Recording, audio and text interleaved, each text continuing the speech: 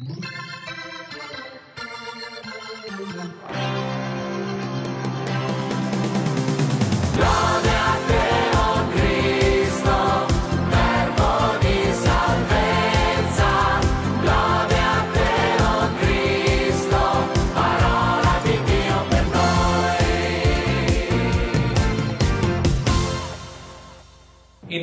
Al martedì di questa quinta settimana, ci raccogliamo, la scuola è ancora a distanza per i ragazzi e questo crea magari una complicazione nella vita delle famiglie, ma noi la sera vogliamo trovare un momento di sosta, un momento di respiro intorno davvero alla parola di Dio e alla preghiera.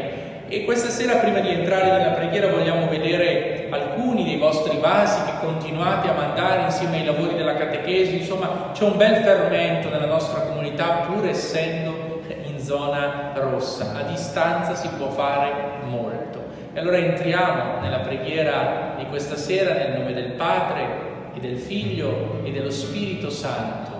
Amen. Ti adoro, mio Dio e ti amo con tutto il cuore. Ti ringrazio di avermi creato, fatto cristiano e conservato in questo giorno. Perdonami il male che oggi ho commesso e se qualche bene ho compiuto accettalo. Custodiscimi nel riposo e liberami dai pericoli. La tua grazia sia sempre con me e con tutti i miei cari. Amen. Dal Vangelo secondo Giovanni. Gesù rispose loro, è giunta l'ora che sia glorificato il figlio dell'uomo. In verità, in verità vi dico, se il chicco di grano caduto in terra non muore, rimane solo. Se invece muore, produce molto frutto.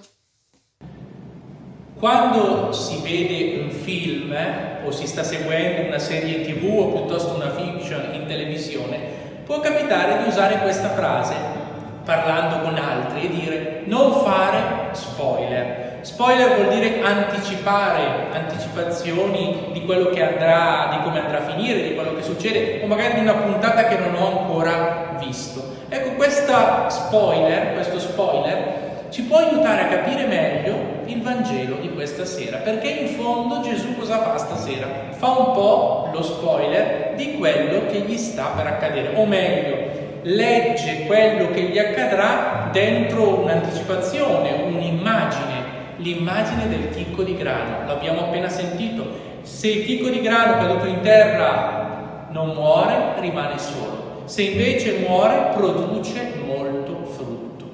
E allora è bello esperienze che stiamo facendo con i nostri vasi, con quel vaso che ci ha accompagnato e ci accompagna di sera in sera, dove il chicco di grano morto nella terra rinasce a vita nuova. Ma questo chicco di grano non è solo il prodigio della natura, ma è Gesù che morto risorge. E allora questo ci aiuterà a vivere la Pasqua in maniera eccezionale. La logica del chicco di grano. Gesù ci fa questo spoiler del finale ma dove già anticipa un po' tutto di quello che vorrà dirci nella sua Pasqua.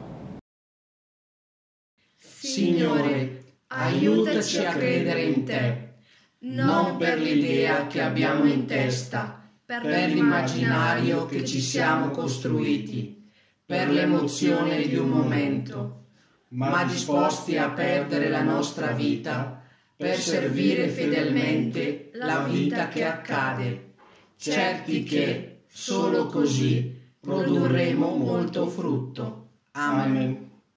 Preghiamo per tutti gli anziani e i nonni della nostra comunità affinché non si sentano soli in questo momento difficile. Padre nostro, che sei nei cieli, sia santificato il tuo nome. Venga il tuo regno, sia fatta la tua volontà, come in cielo e così in terra. Dacci oggi il nostro pane quotidiano e rimetti a noi i nostri debiti, come anche noi li rimettiamo ai nostri debitori, e non abbandonarci alla tentazione, ma liberaci dal male.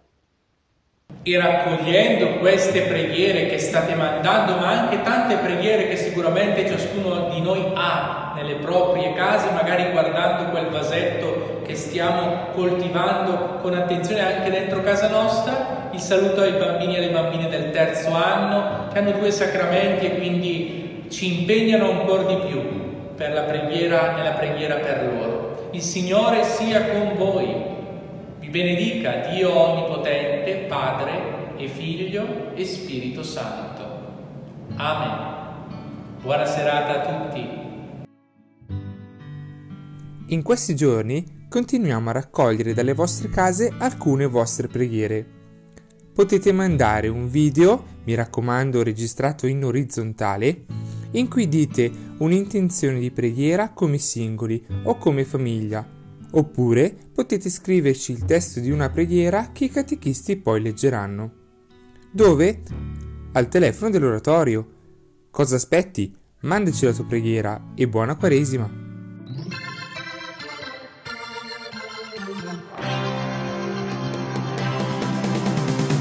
Come la luce illumina ogni cosa,